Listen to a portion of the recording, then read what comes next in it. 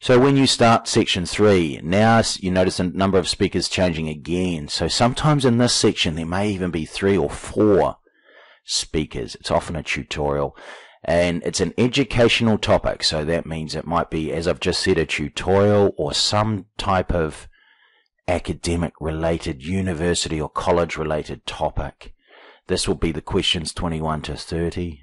Again, the same pattern where we read, listen, read, listen, and check. They guide you through those steps, by the way.